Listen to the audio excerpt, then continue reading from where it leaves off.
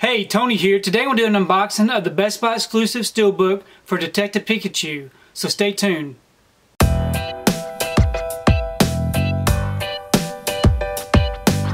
So today I went into Best Buy and picked up my pre-order for Detective Pikachu. Um, I am glad that I ordered this online for a pre-order because when I got in the store there were no copies left. So apparently this probably did pretty well in the, at the box office. Um, I did see the first 30 minutes of this in the theater um, while I was waiting to, for my other movie to um, start. And overall, I thought it was pretty good. So I do look forward to checking the rest of it out. But let me go ahead and unwrap this and we'll take a closer look at the artwork. Okay, I've got the J card off. So I thought I would take time just to show you what the special features are.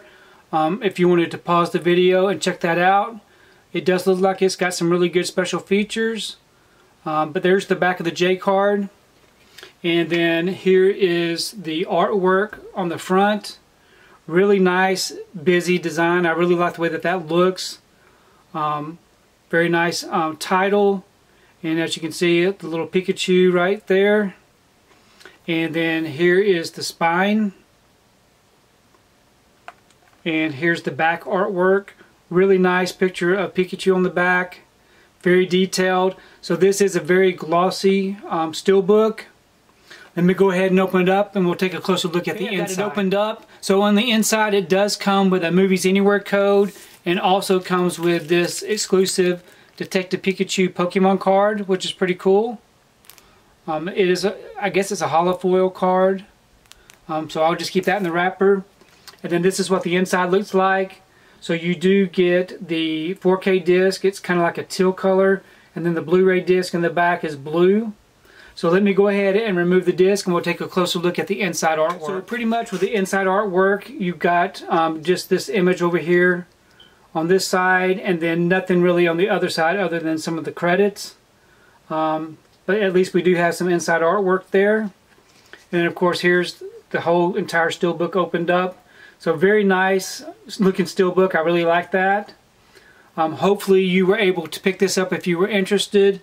Um, hopefully you got it pre-ordered or maybe your Best Buy got more copies than the stores in my area.